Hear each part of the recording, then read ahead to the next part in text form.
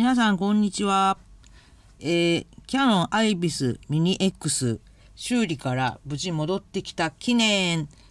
えー、せっかく私今日休みで朝から音が出せますので、今日は、えー、実験としまして、このローランドのアンプとこの Amazon で買ったクリップを、えー、今まで船橋街角音楽ステージでゼマティスのコンサートウクレレにしかあの挟んで使ってなかったんですけど、えーと、その後に2本あのウクレレ増えましてそれぞれにこれを挿したら生音とどれぐらい違うのかっていうことを実験したいと思います。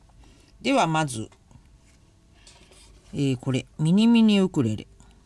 これはちょっと本当にミニなので、えっ、ー、と音程がピッチが割と緩いですけどまああの緩くフラフープしたりする時とかにいいかなと思って。はい。これは3000円で買いました。じゃあまず生音。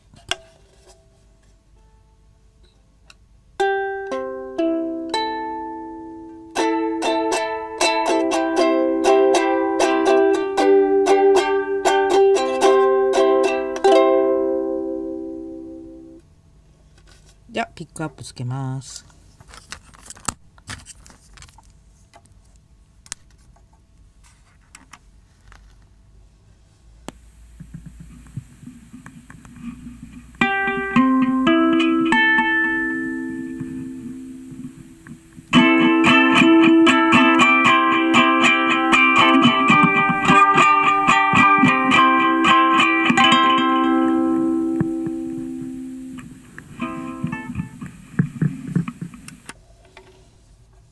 はなんかあんまり刺さない方がいいかなっていうか。で次がこれは作ってもらったサイレントウクレレです。はい。なんと薄さ1.8センチ。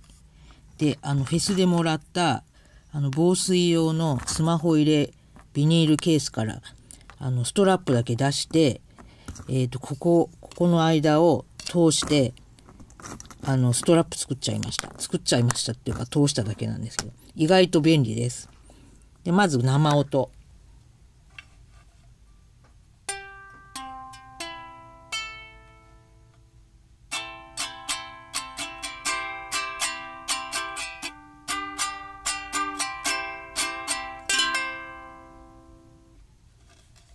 めっちゃちっちゃいです。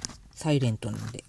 で、えっ、と、これは、ボディが薄いので、ちょっとボディのとこにクリップつけます。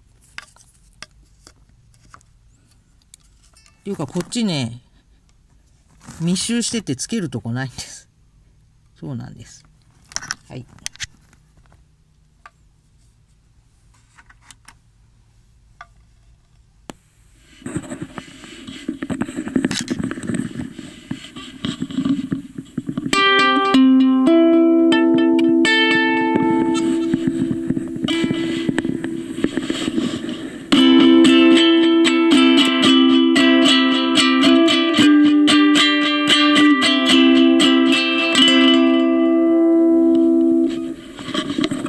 ごいこれ大化けです。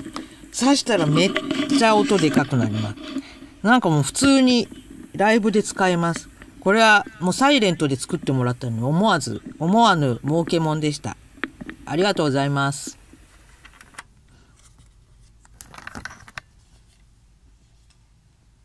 で、最後に、ゼマティスちゃんのです。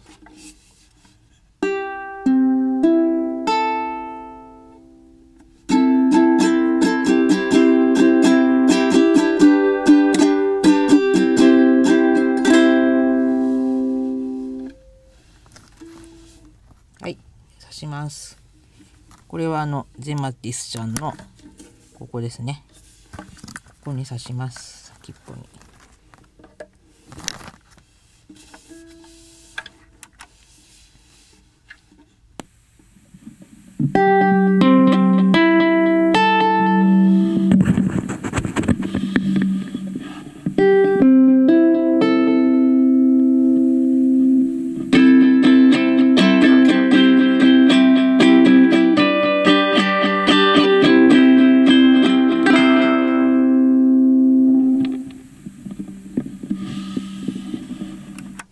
これは、まあ元の音も大きいから、まああの、それがそのまま大きくなったっていう感じなんですけど、いや今回一番びっくりしたのは、これ。あんなに生音こんなちっちゃいのに、この差がすごすぎ。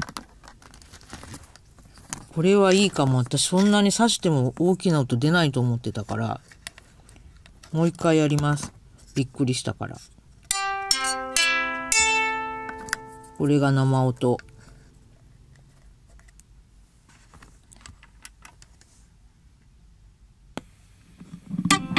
ごめん。